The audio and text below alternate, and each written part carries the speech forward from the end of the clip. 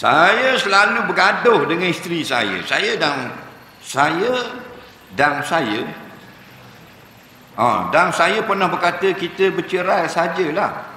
Adakah dikira jatuh talak? Tak jatuh. Kita bercerai sajalah. Tak jatuh. Dia kena isbab.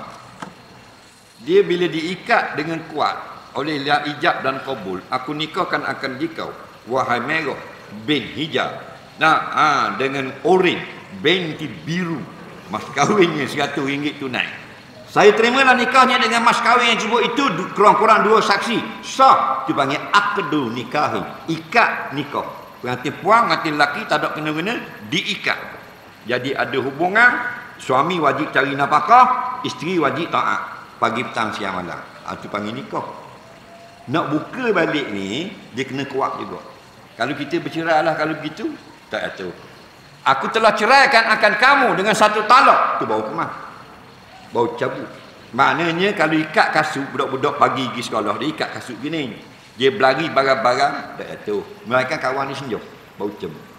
Faham eh kerana dia ikat kuat tadi. Ha. lepas tu kita cerai lah.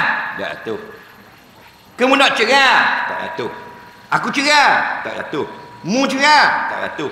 Mu kena cerai? Tak jatuh. Aku telah ceraikan kamu? Jatuh Aku akan ceraikan kamu tak jatuh. Kerana kang-kang tu istiqbal. Yang jatuh hal. Sekarang kamu sekarang sedang kena cerai, jatuh kata ulama. Atau madi. Kamu telah kena cerai, jatuh. Ha. Aku ceraikan ni, aku ceraikan ni, aku ceraikan ni, aku ceraikan ni. Jatuh. Aku cerai aku, tak jatuh. Kamu cerai kamu, lagi tak jatuh. Ha lagi. Ha.